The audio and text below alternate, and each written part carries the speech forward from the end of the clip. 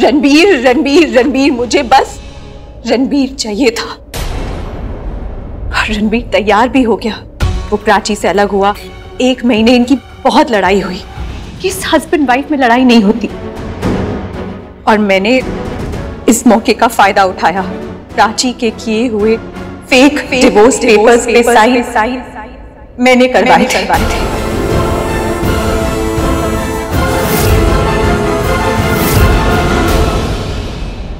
और मैंने वो पेपर्स रणबीर को दिखाए।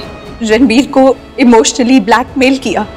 उसे धमकी दी कि अगर वो मुझसे शादी नहीं करेगा मैं सुसाइड कर लूँगी। और मैंने शादी कर ली। Was, I was so foolish to think कि अगर मुझे रणबीर मिल जाएगा तो मुझे उसका प्यार भी मिल जाएगा। But I was wrong. इंसान मिल जाने से उसका प्यार थोड़ी ना मिलता है। रणबीर का प्यार तो मेरा तो मेरा कभी था ही नहीं। था ही नहीं। वो तो हमेशा हमेशा प्राची का था। वो बार बार कहता भी रहा कि वो प्राची से बहुत प्यार करता है बहुत प्यार करता है बट फिर मैंने कभी सुना नहीं। फाइनली रिज़ल्ट भी यही आया। रणबीर मेरा हो के भी के भी मेरा कभी नहीं हो पाया।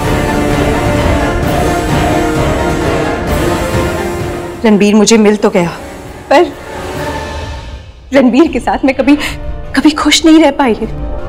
इनफैक्ट मेरा पागलपन और बढ़ गया।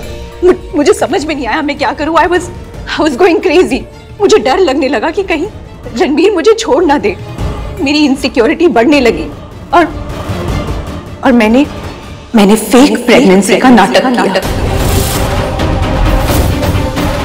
मैंने झूठ बोला।